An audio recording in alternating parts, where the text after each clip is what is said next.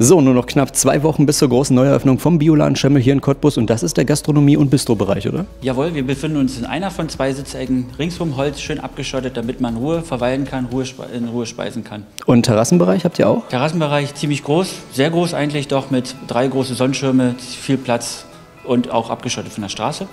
Wer keine Zeit hat zum Verweilen, kann der mitnehmen? Er kann mitnehmen, er kann seine Speisen mitnehmen, Kaffee, Kuchen, alles auch äh, außer Haus und mit nach Hause nehmen. Genau. So, und das ist der Küchenbereich und da stellt sich die Frage, was gibt es denn alles? Bei uns gibt es eine vegane, vegetarische Küche mit Suppen, Salate, Kuchen, Desserts, Kuchen drüben in der Bäckerei, gerne mit einem Kaffee zu genießen. Bei Caterings ruzen wir noch gerne Fleisch, Ochsenbäckchen, Fisch, alles möglich. Perfekt, also zum hier genießen oder zum Catering bestellen. Auf alle Fälle.